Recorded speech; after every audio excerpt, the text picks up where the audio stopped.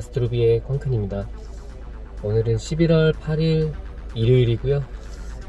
오늘 이제 초과 근무 있어서 초과 근무 하러 나가는 중이고 아마 영상은 지난주 토요일에 했던 어, 무분할 4주차 마지막 스쿼트 영상을 올리게 될 거예요. 그래서 그거 영상 보면서 이제 제가 직장인 운동 컨텐츠를 하면서 요즘 막 분할수 얘기도 나오고 어, 여러 가지 이제 논쟁이 많이 되는데 제 생각을 조금 말하고 싶어서 이렇게 조그맣게 영상을 켰습니다.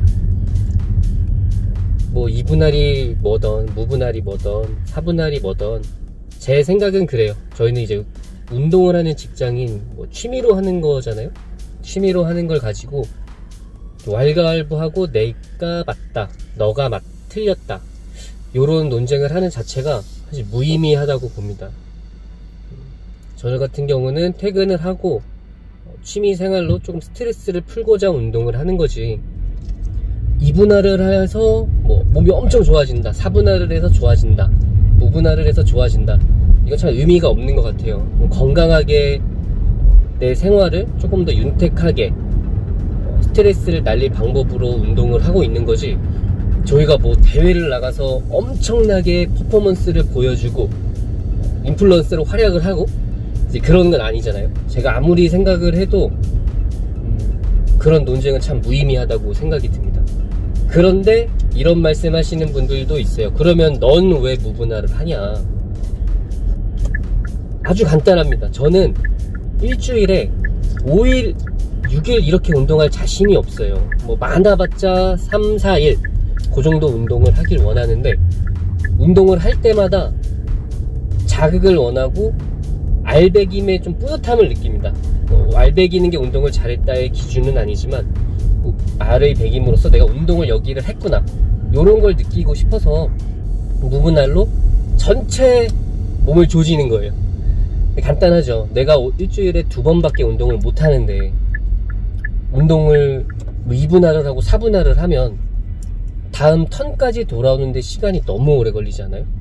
그런 게 싫어서 저는 무분할로 될 수 있는 운동 시간 안에 모든 운동 종목을 뽑아내려고 무분할을 하고 있는 겁니다. 뭐 이런 것처럼 저처럼 이유가 있거나 뭐 본인에 맞는 운동법을 찾아서 진행을 하는 거지. 요즘 보면은 뭐 너가 맞다, 내가 맞다, 뭐 내가 논문에 근거해서 그렇다.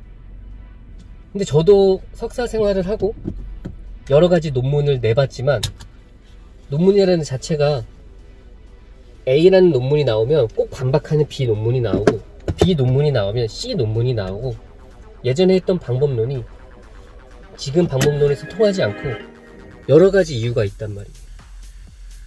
근데 그런 걸 가지고 너무 맹목적으로 따라가지 말고 저희가 라이프 스타일을 추구하는 제 모토처럼 나스트로비의 건강을 위해서처럼 정말 건강을 위해서 재밌게 운동했으면 좋겠어요.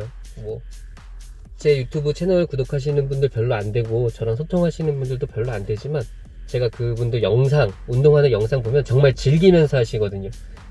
시간에 맞춰서, 어, 본인의 그 운동 수행 능력에 맞춰서 매일매일 꾸준히 하시는 분들이 많은데, 그런 분들 보면서 저는 동기부여를 받고, 더욱더 열심히 어, 운동하고 긍정적인 에너지를 보여드려야겠다 그렇게 생각을 하고 있거든요.